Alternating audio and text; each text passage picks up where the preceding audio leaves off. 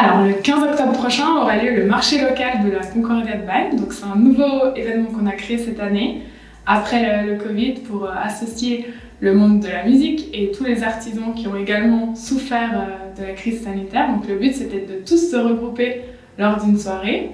Donc, à cette soirée, il y aura une quinzaine d'artisans de toute la commune du Val de Bâle et à la fanfare de la Concordia de Bâle qui sera présente à Bruson à la salle polyvalente dès 17h30. Alors, lors de cette soirée, ça va se passer comme ça. Dès 17h30, il y aura des ateliers qui seront prévus pour euh, les, enfants, pour les initier au monde de la musique.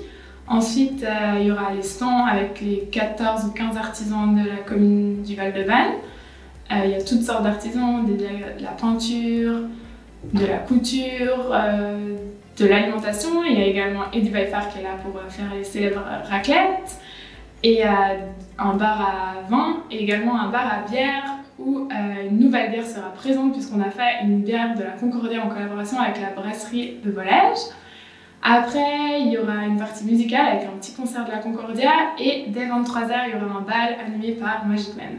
La soirée, ben, on veut que ce soit une soirée euh, décontractée, tranquille, cool, euh, où il y a une bonne ambiance. Donc c'est vraiment le principe de la convivialité. Un petit peu de musique quand même, et après une partie détente avec le bal. Le but est de réunir euh, tout le monde lors de cette soirée, vu que c'est un peu le premier événement qu'on peut faire après le Covid. Le seul point euh, important, c'est que le pass sanitaire sera obligatoire, donc soit les personnes vaccinées, soit un test PCR avant, pour qu'à l'intérieur il n'y ait pas de restrictions et qu'on puisse tous s'amuser.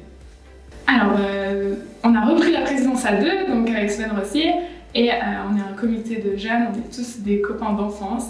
Donc euh, c'est vraiment cool de pouvoir euh, bosser tous ensemble avec un groupe qu'on se connaît et qu'on a l'habitude de, se côtoyer. Et je trouve que c'était bien d'être une équipe jeune pour un peu dynamiser et remettre à jour l'image des fanfares qui n'est pas forcément très moderne. Et en plus, c'est très bien que ça soit pour une fois un peu une fille qui prenne le lead dans ce monde qui est encore un peu masculin.